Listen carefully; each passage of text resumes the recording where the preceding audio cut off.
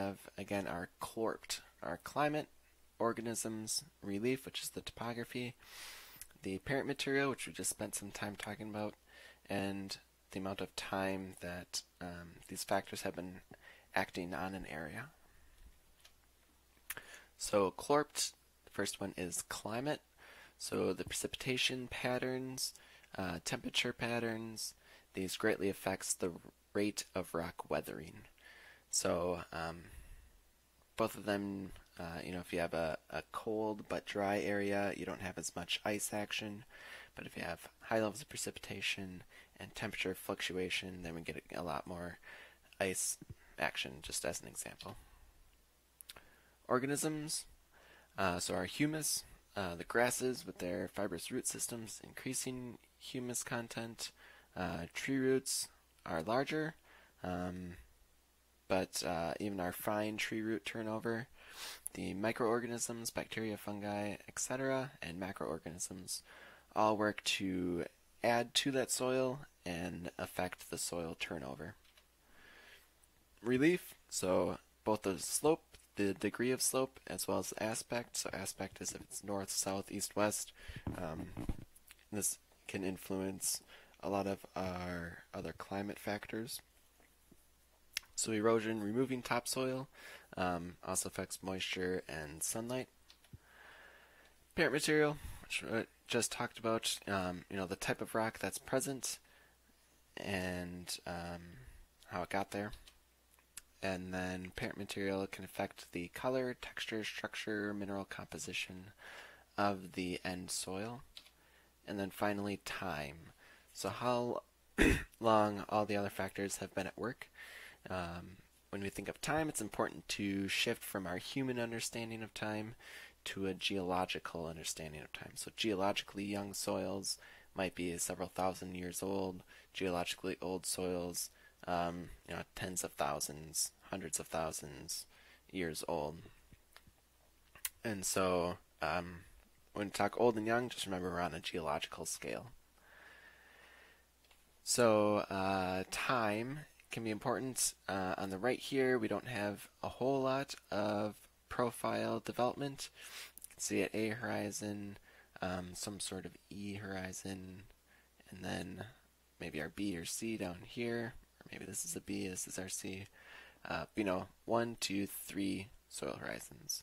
Uh, on the left, we actually have a buried soil, so recent soil, this could be um, probably you know alluvium, colluvium, something like that, that came down and buried our previous soil, and so uh, the importance of time as to when that happened and how much that soil has developed since hap- it happened.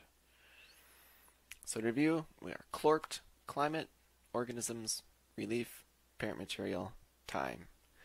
Uh, and the soil forming process that creates our layers or soil horizons and then those horizons are um, put together in our soil profile.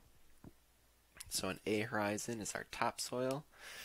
Uh, a B horizon would be our subsoil. Often, uh, if there's an E horizon present, it's between the A and the B, and then the B is where we have something depositing, leaching out of the E horizon, depositing in the B horizon. And then a C horizon is our parent material that hasn't been weathered into soil.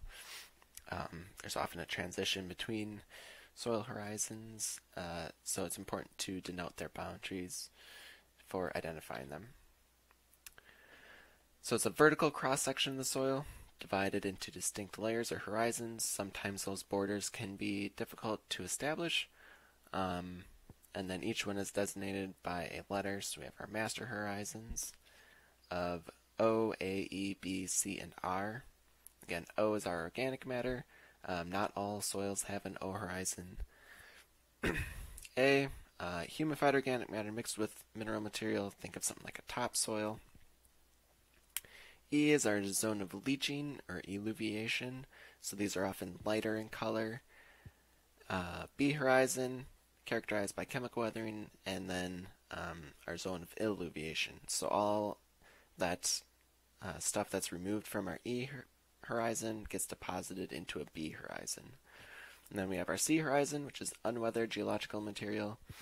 And then in some cases we have an R horizon, which would be um, you know like solid bedrock.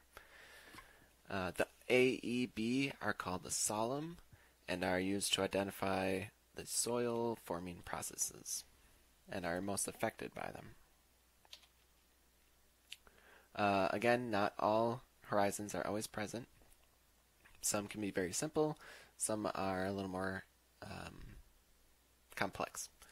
So here we have, uh, again, a theoretical soil profile.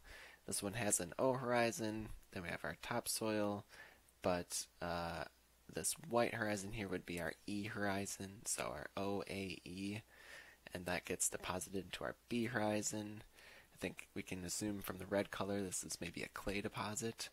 Then below that is our C horizon, which could be you know unweathered glacial till lying on top of a granite bedrock, or our, R horizon.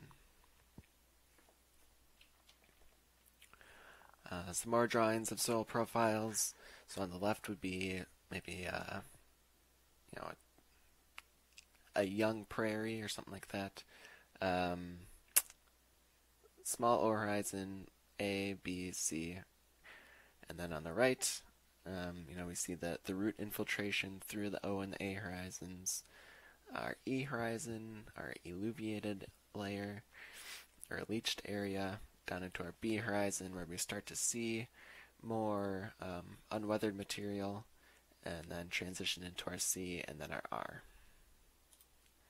So that is um, soil horizons and soil formation. Then next lecture we will use this information to discuss soil classification.